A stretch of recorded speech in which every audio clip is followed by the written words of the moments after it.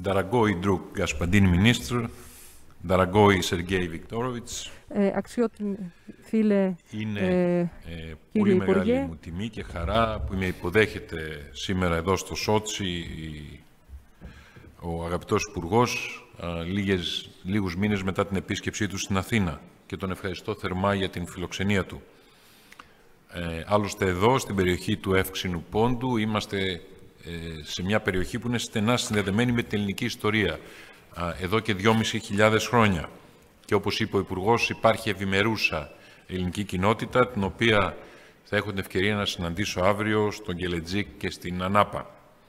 Γιορτάζουμε τα 200 χρόνια από την Ελληνική Επανάσταση και θα ήθελα και με αυτή την ευκαιρία να εκφράσω στη Ρωσία την ευγνωμοσύνη μας για την ιδιαίτερη συνεισφορά της στην απελευθέρωση της πατρίδας μας. Οι δεσμοί μεταξύ των δύο χωρών μας είναι ιστορικοί, είναι πολυεπίπεδοι, Άλλωστε, ε, ευελπιστούμε να πραγματοποιηθούν φέτος όσες περισσότερες εκδηλώσεις είναι δυνατόν στο πλαίσιο του έτους ιστορίας Ελλάδας-Ρωσίας για να υπογραμμιστεί αυτή η σχέση. Σήμερα συζητήσαμε εκτενώς για τις προοπτικές εμβάθυνσης των σχέσεων μας σε διάφορους τομείς, χτίζοντας πάνω στις συζητήσεις που είχαμε το, το περασμένο φθινόπωρο στην Αθήνα, αλλά και στις επαφές του Πρωθυπουργού Κυριάκου Μητσοτάκη με τον ομόλογό του Μιχαήλ Μισούστιν, ο οποίος μας έκανε την τιμή να παρευρεθεί στις εκδηλώσεις για τα 200 χρόνια της ανεξαρτησίας μας. Στον οικονομικό τομέα υπάρχουν μεγάλες προοπτικές. Μάλιστα, ξεκινά από ένα πολύ χαμηλό σημείο, διότι ιδιαίτερα από την ελληνική πλευρά το εμπόριο έχει συρρυκνωθεί σημαντικά τα τελευταία χρόνια. Συζητήσαμε τις προοπτικές ρωσικών επενδύσεων. Είχα την ευκαιρία να τονίσω την τεράστια σημασία που αποδίδει η Ελλάδα στον τουρισμό, ως ένα τομέα που συνδέει τις χώρες μας, αλλά έχει και ένα πολύ μεγάλο οικονομικό ενδιαφέρον. Εμείς εδώ και μια εβδομάδα έχουμε δηλώσει ότι είμαστε έτοιμοι να υποδεχθούμε τους Ρώσους ε, που θα ήθελαν να επισκεφθούν την Ελλάδα και έχουν εμβολιαστεί ή έχουν αρνητικό τεστ. Όμως ε, ζήτησα από τη ρωσική πλευρά ε, να λειτουργήσουν εκ νέου οι αεροπορικές συνδέσεις μεταξύ των δύο χωρών. Επαναλαμβάνω το θέμα αυτό και στο δημόσιο λόγο, όπως το ζήτησα έντονα και κατηδίαν από τον κύριο Υπουργό. Το σύνολο των διμερών θεμάτων και της συνεργασίας μας θα συζητηθεί ξανά κατά την επίσκεψη του Πρωθυπουργού Κυριάκου Μητσοτάκη στη Ρωσία, κάτι που ελπίζουμε να γίνει μέσα στο χρόνο.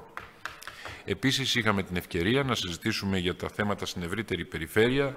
Ενημέρωσα τον Υπουργό για τις συζητήσεις στη Γενέβη για το Κυπριακό, αλλά και τα ευρύτερα θέματα της Ανατολικής Μεσογείου.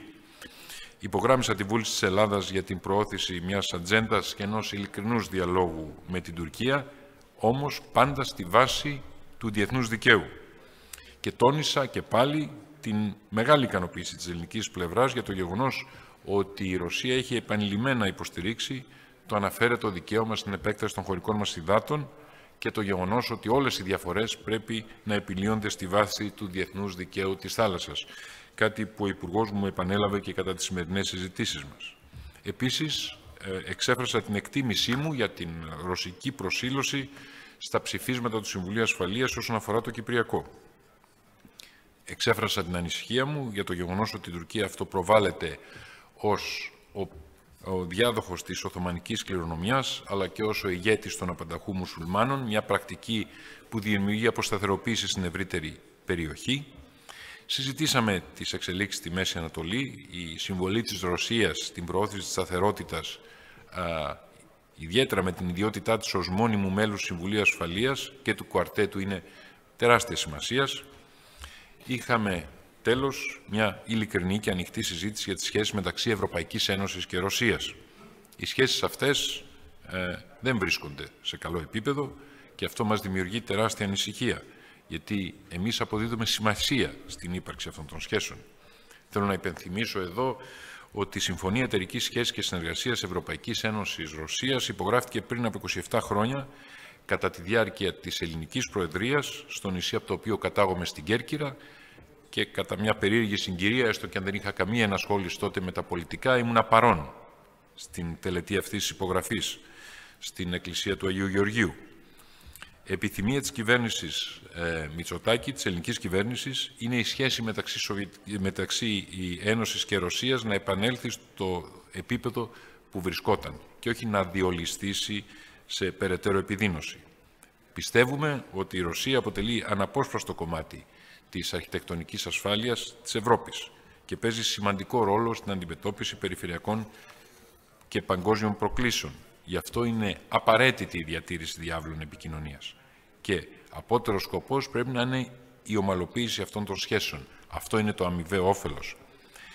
Πιστεύουμε όμως ότι αυτό είναι και το συμφέρον της Ρωσίας, αφού η Ευρωπαϊκή Ένωση αποτελεί ένα από τους μεγαλύτερους εμπορικούς εταίρους και αντιμετωπίζει μαζί με την Ευρωπαϊκή Ένωση κοινέ προκλήσεις. Αυτό ήταν το πνεύμα της συμφωνίας που υπογράφηκε στην Κέρκυρα πριν, δεκαετίες, πριν τρεις δεκαετίες.